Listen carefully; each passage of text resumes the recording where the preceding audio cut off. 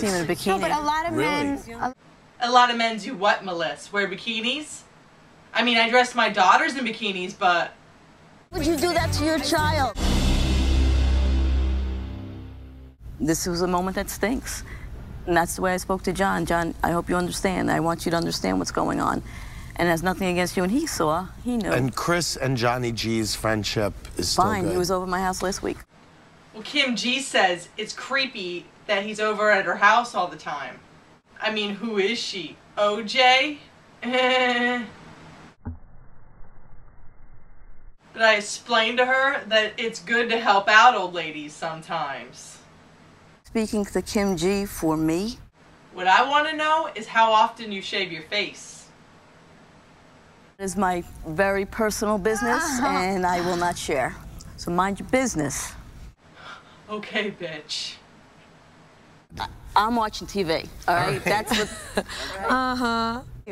I speak with my face. I have big eyes. Everybody can see that. And they do the talking for me. Your eyes you do know? the talking.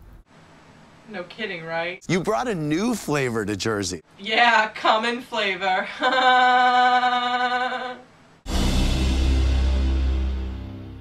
She's a good cousin because she did what I would want somebody to do. What, like take over my show and prove that she has a smarter and nicer family than me? I don't think so. That's all. Thank you. Well, it's just obvious to Joe and me that she's jealous of my house and my New York Times best-selling cookbooks. Melissa, Sid Marie from Puerto Rico says, Who's Sid Meliss? Is that somebody else's money you're taking? what is it that Joe always says? You can't make smarts out of farts.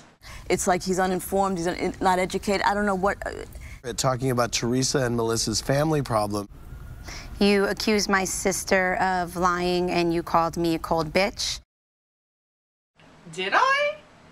Didn't you get the joke? It's funny, right?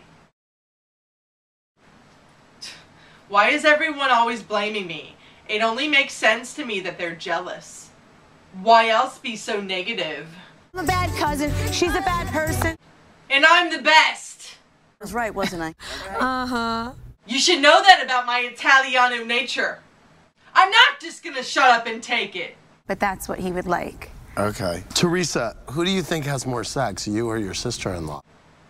You calling me a prostitution whore? Do you really want to know? Was right, wasn't I?